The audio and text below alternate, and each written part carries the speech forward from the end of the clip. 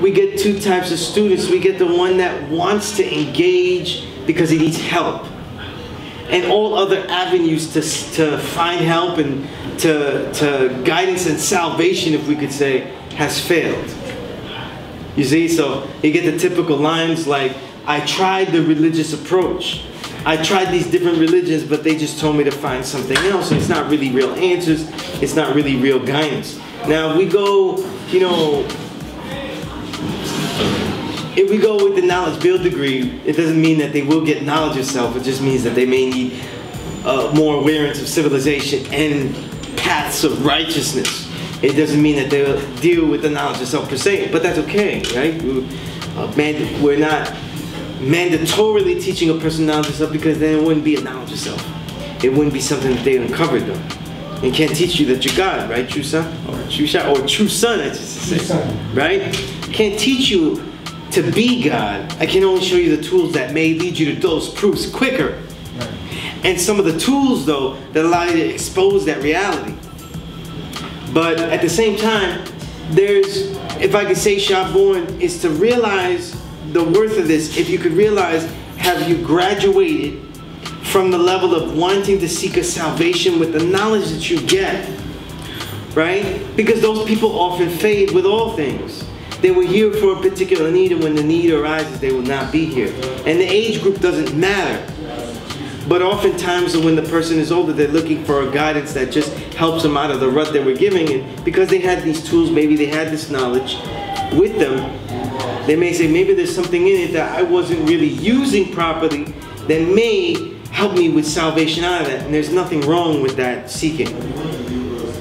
But what, if you're thinking, how can I really memorize 120 and, keep it, or really be able to use it as a life reality? I'm also motivated, then there would be two motivations that stand out. The obvious, because we teach the youth, is that they would have young that they want to teach their own children, their grandchildren, those that are around them. They, they can't let this go because there are no other options of what is. People, you know, they, people use this though that are influenced by this, and people have no idea. You know what I mean? So like when Cormega has an incredible album and he says interviews that, you know, his uh, mega philosophy is trying to give people a knowledge of self. Well, there is no knowledge of self that is just insights on society. The knowledge of self is a proven thought of science on who man is. And so when someone, anyone says a knowledge of self, they're giving a lesser term, which is still could be valid, that it is a knowledge of self that is teaching someone something that gives them an insight to be a greater man. Again, awareness of civilization, that this may not be the peak of civilization or even lead to the peaks of civilization. That there may be righteous paths to take that are greater than the ones we take. But the true knowledge of self is also where the identity of a man and knowing and searching and constantly seeing the identity of man as being the true and living God, that there is no mysterious being, energy, or force that causes our reality, that they would constantly refuel and reaffirm who they are without having to seek outside forces to re-engage them or reignite them. They would reaffirm their real their, and rejuvenate on their own with this knowledge of self. So that with this second thing, what we truly seek for the person that really deals with this knowledge that I've seen is the person that has a love of learning. You see, the student that says, well, okay, I see that I'm God, but they're just engaged in other things. See?